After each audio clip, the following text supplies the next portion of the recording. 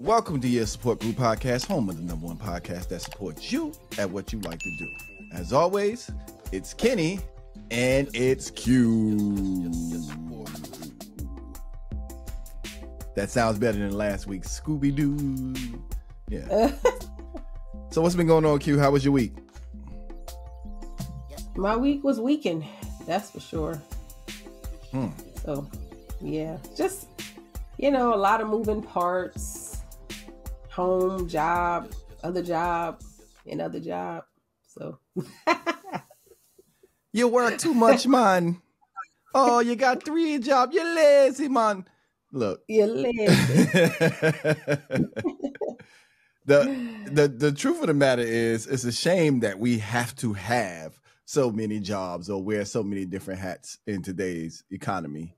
Um I mean it, it makes it kind of hard for home life to balance out a little bit sometimes, but I mean you figure if you don't do it, it won't be a home to go to. So you Facts. catch 22 so i mean you know you want everything to to be prosperous and and and and balance out and, and do well so yeah i i fully understand the the wearing of different hats when it comes to work work and work and work. Um for me uh i had to go do my man thing you know i had to go take my wife's car to go get the oil changed and tires rotated you know yesterday. Uh had the weekend off another weekend off. Um so i went to go do that you know man up.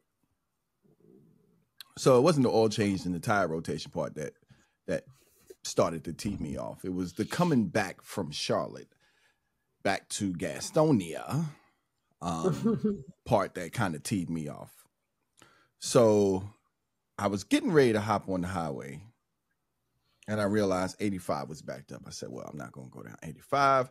I'll just, you know, I haven't seen downtown in Charlotte in a while, so I'll just drive through downtown and go down Wilkerson, head into Gastonia.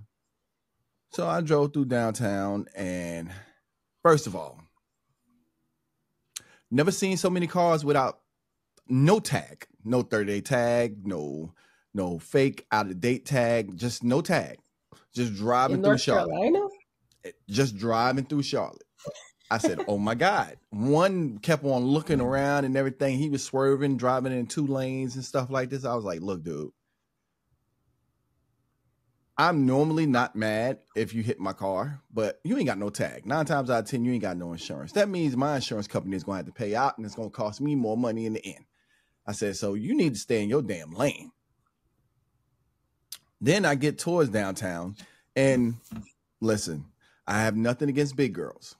I love I love my big girls. Nothing's wrong with that. Nothing about being big and sexy. But when you put on cutoff jean shorts and they're so far up in there that it looks like a crater impact. Then you got on the halter top with the belly out. And so the shorts are even more hidden. I thought she was naked walking down the street but she was with her girls. Look, I'm, I'm gonna tell you the God honest truth. Lizzo got some of y'all messed up. Okay, Lizzo got some of y'all messed up. It's all right to be big and sexy, but it's it, some of it's out of control. Some of the stuff you shouldn't be wearing. You know what I'm saying? Make it sexy, make it presentable, but that that was uncalled for. So I was like, I, I wish I wish I was bold enough to pull out my camera and record it. I might have throw, threw a clip in here right now just so y'all can understand what I was seeing. And shout out to my big girls about that. I, like I said, I have nothing against the big and sexy, but that was just uncalled for. Even the guy in the car beside me just looked and he looked over at me and he put his head down. And I was like, yeah, dude, I, I, I don't, I don't know what's going on here. Yeah, I, I say I, I love my fluffy and fabulous ladies.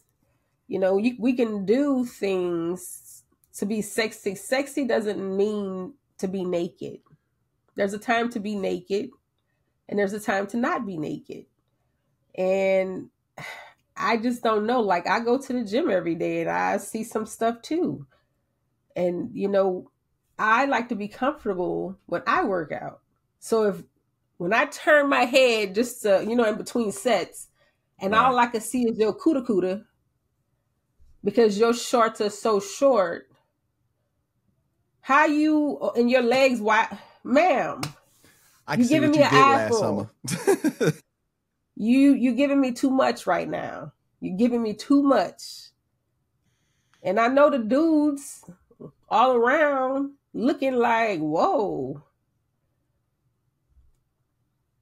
You know, that's the Why thing. to see everything. That's the thing I'll be saying, you know, and you know, uh when they when they talk about when they talk about tights or leggings and things like that, like those are not 24 hour pants. I'm sorry. Those are for workouts. Those are for if I got to run to the store right quick. Those are not 24 hour pants. Um, lately, they've been finding out that some of the fabrics that they've been using are actually bad for you. You know, so um, I can't name off all the fabrics that are bad for you. That's not my job. But go look it up. yeah, go look it up. But they're saying that some of that stuff is bad for your uh yeah. Your hooter cooter. mm-hmm. Yeah, you gotta be careful with YouTube because I said something about elections and there's Uh-oh. always some trouble. So anyway, because I'm I'm not done with my Charlotte in, but um, I don't know what it is with some of these roads. It, it, it's just sad. You got all these new buildings, but horrible downtown roads like potholes and the whole like. I, I'm in the new car, not the old car. So it's no way that I have a bad front end. Like the whole front end of the car was going. I was like, what in God's name? Like I felt like I was a basketball getting dribbled. I was like, that's terrible. And then finally, when I get to Wilkerson, it was so many grandmas and grandpas out there driving. Like it, it, it was scaring me. Like they was doing like 25 and a 45 and I'm looking at them. I'm trying to get around, and they're like, "Oh, you you can't pass me, Sonny," and they get right in front of me, and I'm like, and then I try to get over the other way. They're like, "Oh, you're still trying to pass me, Sonny," and they swing back the other way, and I'm like, "Oh God, this is about to take forever." And so it took me about an hour and some change to get from Charlotte. Normally, when I go down 85, it takes me about 25, 30 minutes. so I finally made it home um, the the morning actually started off kind of awkward because I thought my nephew's graduation, and shout out to my nephew Josh. I thought his graduation was Saturday morning, and so I woke up extra early, calling my parents. They wasn't answering the phone. Woke them up out of their sleep. Um, sorry, mom, pop. Uh, woke them up out of their sleep, and they was like, "No, the graduation is Monday." I was like, "Oh shit." You right. I was like, okay, I'm going back to bed. But then I had to, like I said, get up and go do my husbandly duties. Yep. And speaking of husbandly duties, we can get right into the subject. Dun dun dun, dun puppy power.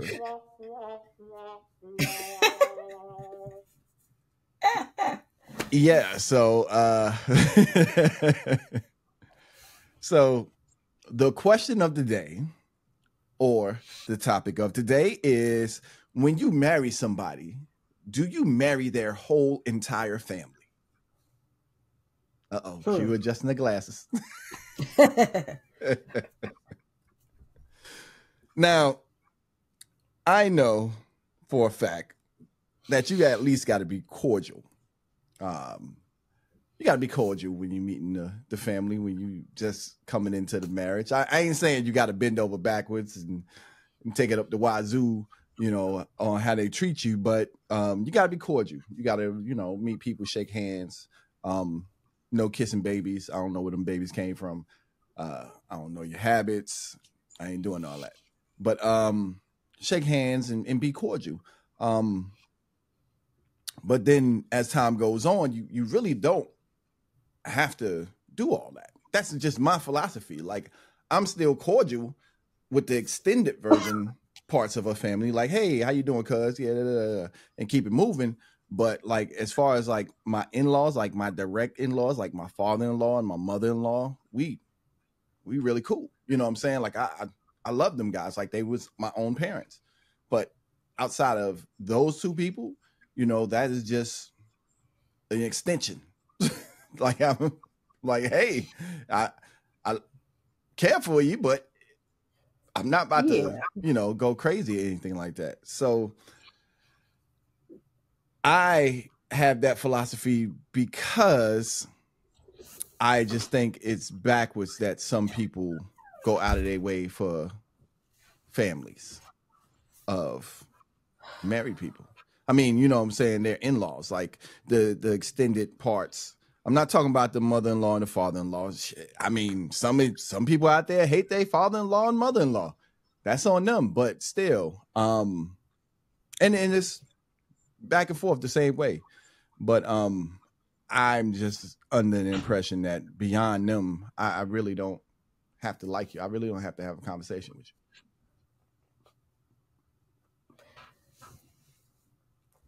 Kenny's just like I kick rocks with bare feet.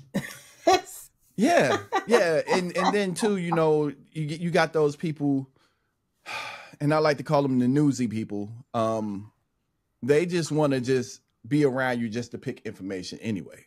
You know, so oh da, da, da, da, da. oh well Kenny Kenny Tamika husband he ain't worth a damn da, da da da and he did this and he got this and you know yeah. Hey, with me and my wife, you you you probably don't even know what time of day we wake up or anything like what we ate for breakfast because we we don't talk about it. You know.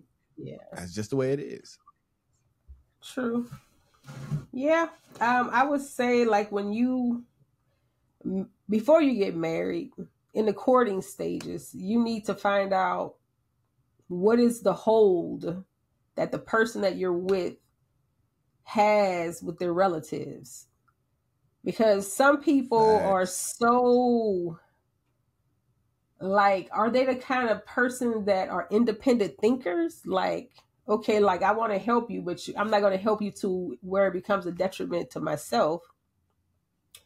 Or are they the kind of people that just just do do do do do and then keep finding themselves in a bind because you know you have those relatives that every time you look around, something, oh, and this happened, and they can you believe they fired me? And then you start asking questions, and you find out they showed up 27 times late to work and wasn't doing what they were supposed to be doing. And now they need rent for the last three months and want to know can you you give it to them what what? what?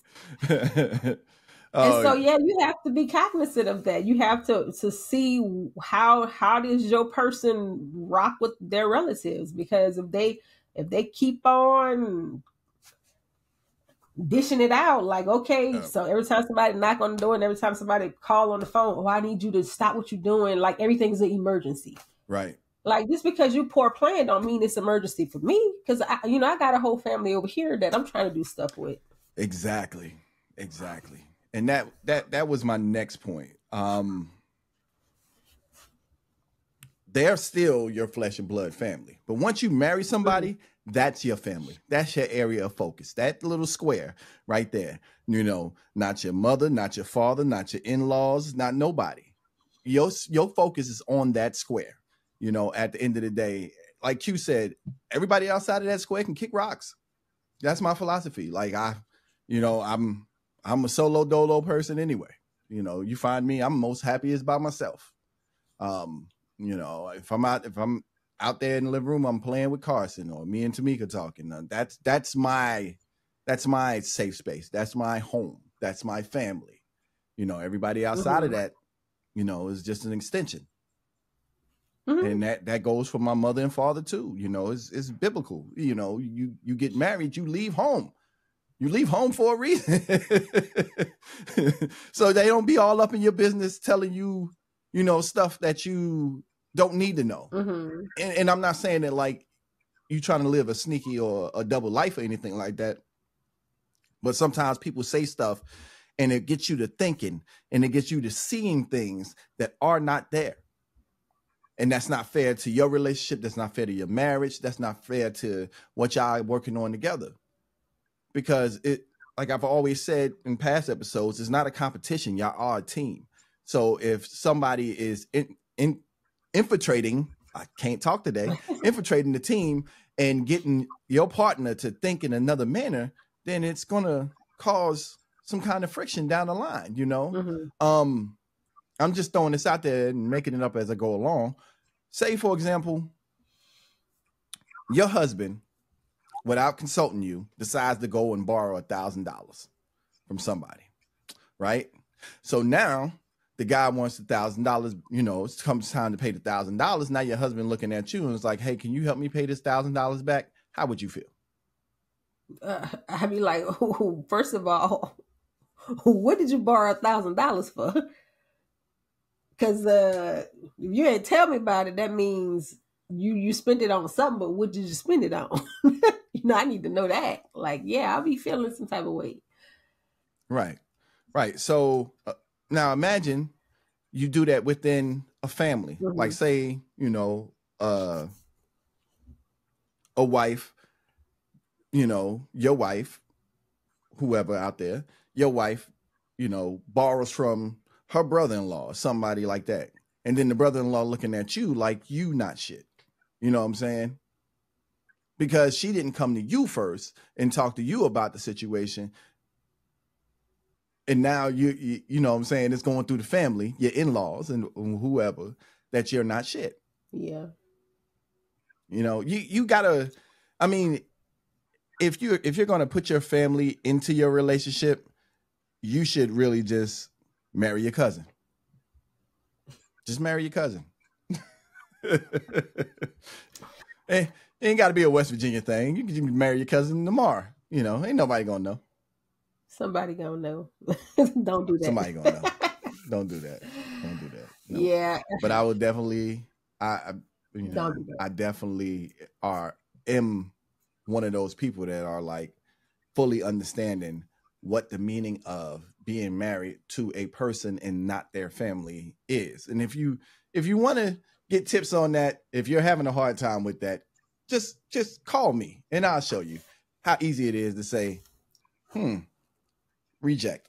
Yeah, you have to uh and a lot of people keep but you really do have to establish boundaries. And this is why I say have conversations. Me and my husband, we have conversations about money. So we say to ourselves when what is when we get ready to give somebody money, if they ask for it, we already know there's a possibility we're not going to see this money again. So if if it's money that I need back, I can't give it to you. We've already made that that had that conversation. Because what's going to happen is and I've had this happen to me before, give me the 300, I'm to do what I got to do and I'm gonna give you back them 300 so you can do what you gotta do by this date. And when that date come,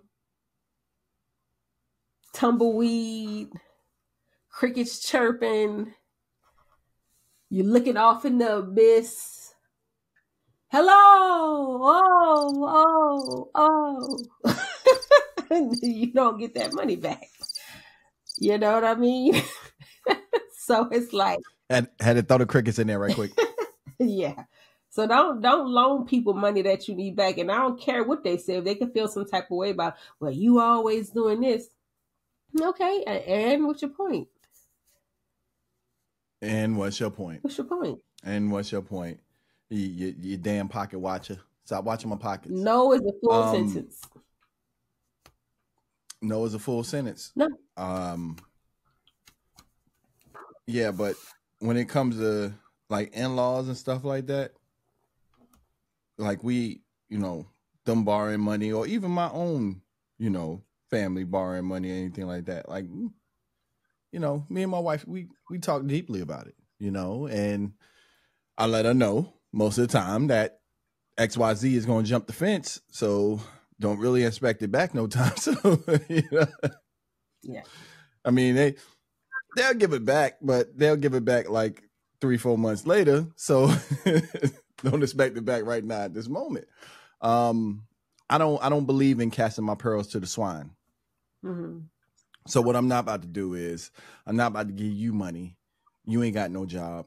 You ain't got no way to make money, and you broke. And you talking about you need to borrow twenty dollars for gas. For where? where you going? Where you going? What job you going to? And what car you got? I well, I gotta get these kids back and forth to school. Oh well, I just give you that. Come by, come by the gas station. I'll fill up for you. Yeah. But twenty dollars, no. And you ain't got no way to make it back. No. Yeah. No, no, because I'm I'm not gonna I'm not gonna even get myself hyped up to expect it back. Nope. So I just rather just give you some gas, give you twenty dollars or whatever. But don't tell me, don't shoot me no BS. Right. You know. And I'm not about to sit up here and jumping back to the main source of the topic. I'm not about to sit up here and argue with no nobody that I didn't grow up with flesh and blood. Um with my in-laws. Like I, I don't have to deal with you. I just don't. Right. You know? Um and I'm too busy focused on my household to be worried about anybody else's. Right. And that's that's a that's a big statement because there's so many people out there that want to keep up with the Joneses and they more worried about what you doing or how Tamika's husband is doing. Like that that's not your focus. Your area of focus is your household. And your household is your household. My area of focus is my household. And whatever I'm doing for my household, guess what? Everybody inside my house knows I don't like nobody talking about what's going on inside of my house. Yeah. So he's almost sounded like Al Pacino in the Godfather. Don't nobody ask me about my business.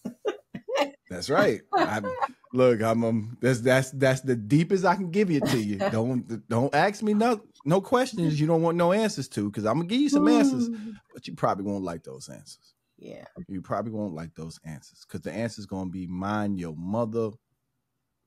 Yeah. Exactly. and this extends to also to um having people pull you into unnecessary drama. Ooh. Like don't don't fall into that trap because there's people that are I call them energy zappers, energy it drainers like every time they call you you look at the phone and you're just like oh my god you already know you got to dedicate like an hour and a half to just them talking about every problem under the sun and most of the time when you ask the questions they're at the center of all the drama that that's going on in their lives but they can't mm-hmm. be accountable for not one action not one not one. That's why, you know, that's why I said at the beginning, you know, watch who you tell your business to. And that goes for your your family and your in-laws. Watch who you tell your business to because I've seen it happen so many times to where um somehow the story ends up surrounded by you. Oh, well, me and Ray Ray got this problem, da da da da da da da da. And you say, Well, I can't help you. Well, I heard you and Fahim. There you go. Mm-hmm. There you go. And there's nothing you can do about it because you you don't told your cousin Rashida about you and Fahim's problems, and Rashida told your other cousin Nene that's on the phone with you right now because you know black people got all nicknames.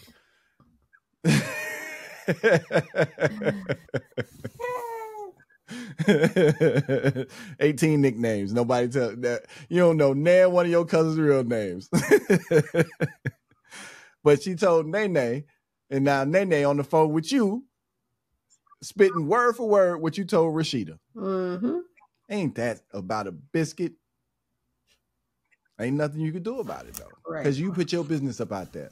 So now you got your significant other being looked at in a different light. And now you're not going to tell them. No, you're just going to have him show up to family events and wonder why everybody looking at him funny. Yeah. I don't think your family like me. Man, they be tripping. Come on. no, tell him the truth. You don't told all your damn business, and now this is why they looking at you all strange. And then when you start, you know, talking to people and start explaining what you're doing and how you're doing, and they're like, oh, oh, they sound so amazed. That's because you've been talked about very poorly, or you've been talked about in another light. Like they don't they don't know, so they think that you some bum. Mm-hmm. You get what I'm saying? So I, I mean, I'm just spitting those scenarios out there because I've been there before. Mm-hmm. I've been there before, mm-hmm. you know, and I understand. You know, I've I've seen it firsthand myself.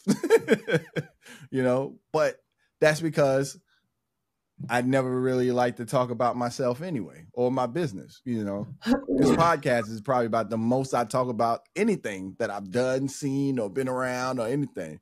So shout out to the podcast. yeah.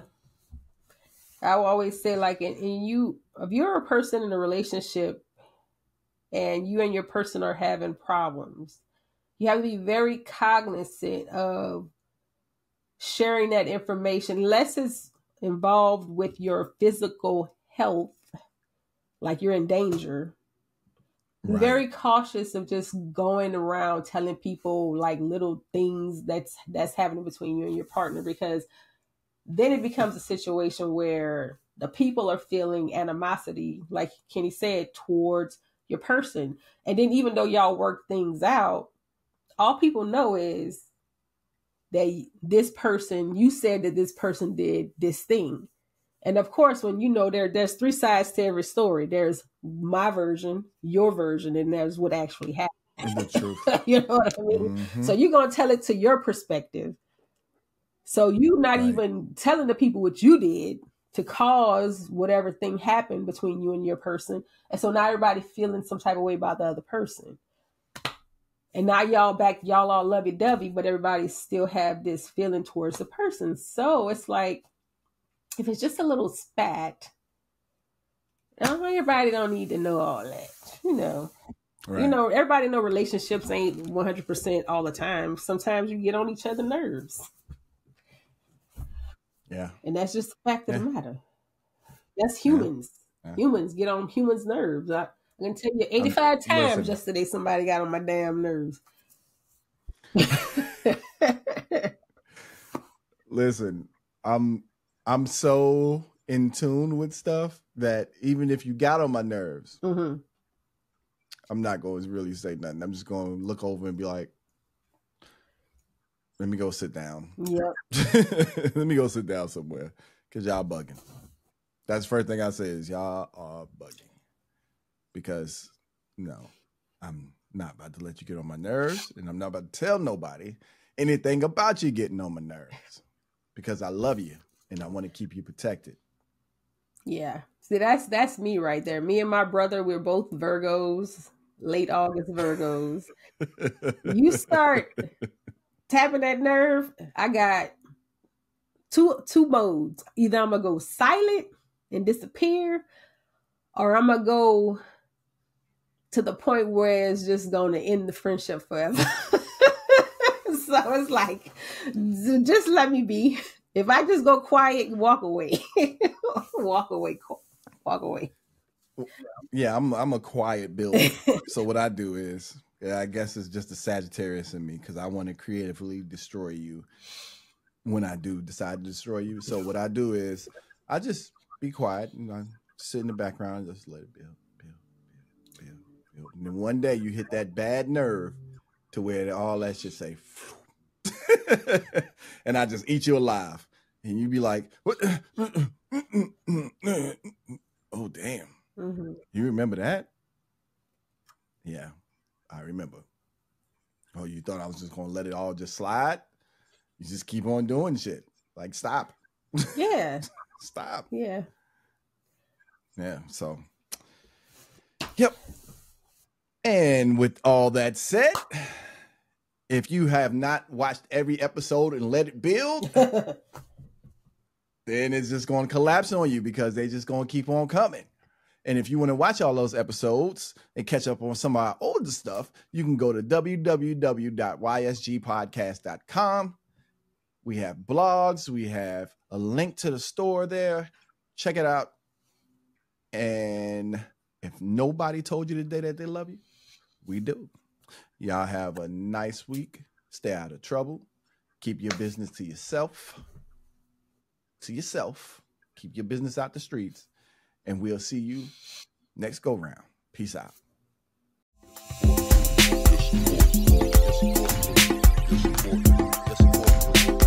Yes, yes, yes, yes, yes, yes, yes, support group.